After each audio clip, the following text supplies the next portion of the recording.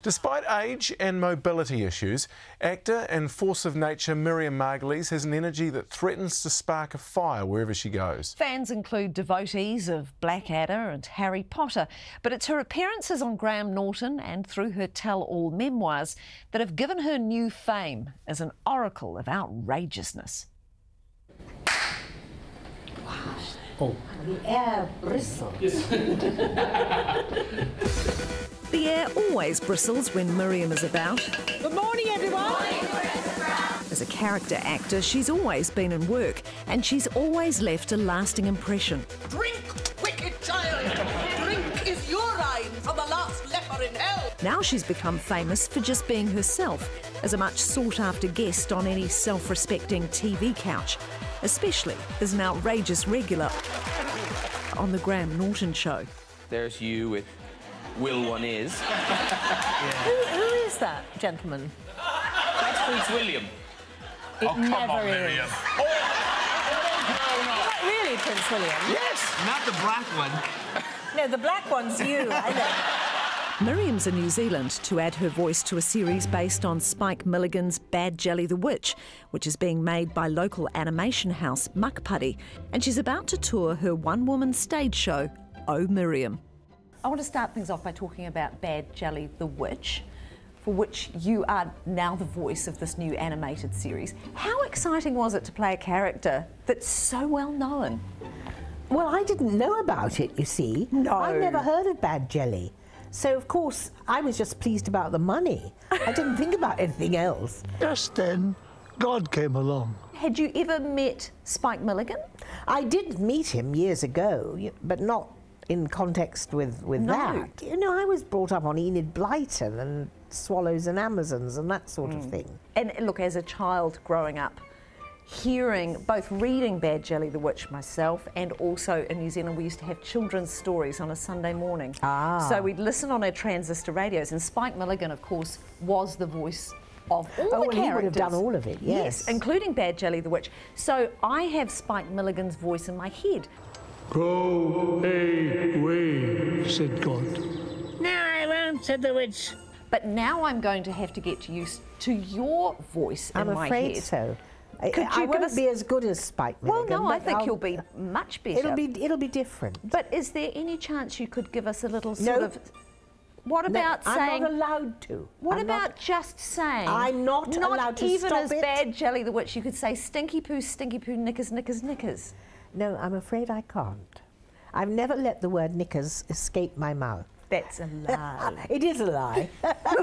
you say so much worse.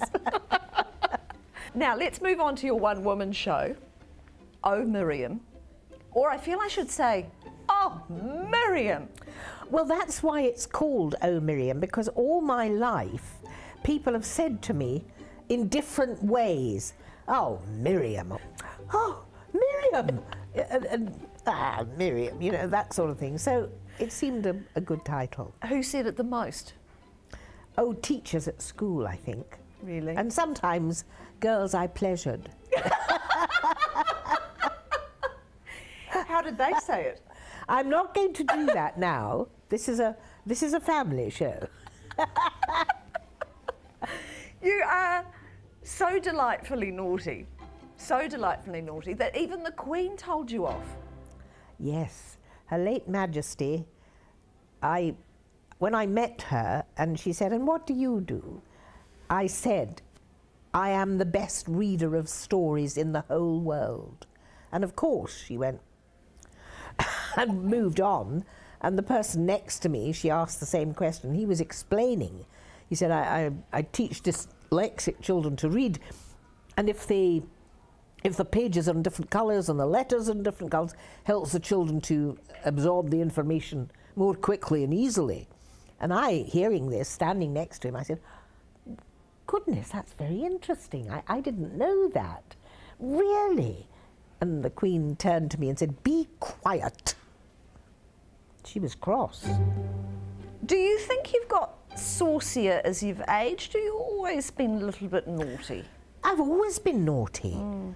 I just didn't do it on television, mm. because, and nobody knew about it. And then when I got invited onto Graham Norton and chat shows and things like that, I just went on being the way I've always been.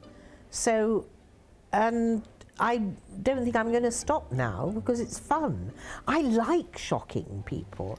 I like it when people recoil w- with distaste and, and a, a look of revulsion almost.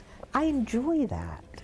Harry Potter fans versus Blackadder fans. If a Harry Potter fan was to yell out at you, what would they say compared to a Blackadder fan? Well, a Blackadder fan always says wicked child, you know, say wicked child. Harry Potter, I worry about Harry Potter fans because they should be over that by now. You know, I mean, it was 25 years ago and it's for children. I think it's for children. But they get stuck in it. I, and I do cameos, and people say, oh, we're having a Harry Potter themed wedding. And I think, gosh, what's their first night of fun going to be? I, ca- I, ca- I, I can't even think about it. No. Uh, uh, Harry Potter is wonderful. I'm very grateful to it. It's, it's over. That's what I think. So, the year ahead, what are you hoping to get out of this year? I know you've got mobility issues, but you've still got this one woman show. I, I think that's amazing. You've got this one woman show that you're taking all through Australia and New Zealand. I don't know if I could call it one woman. It is me. I hope that I'm getting somebody to interview me, and then the audience can ask me questions, and I respond to what the audience asks. They put it on um, a little iPad, and uh, probably the stage manager will tell me what they say. And that's what I like. I like connection, connection with an audience, connection with another human being. That for me is what keeps me going.